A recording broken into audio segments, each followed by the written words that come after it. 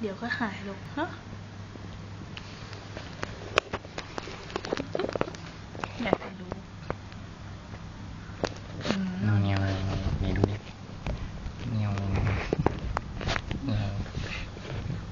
อะให้พ่อถ่ายครั้งหนึ่งของชิ้นครับ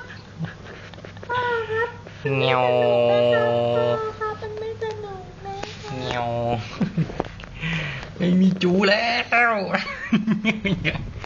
พ่อมันไม่ใช่เรื่องตลกไม่มีจูแล้วเรื่องตลกเนาะแม่ว่าให้คุณหมอชี้จงสรุปดีกว่าไหมจะได้นอนสรุปไปเลย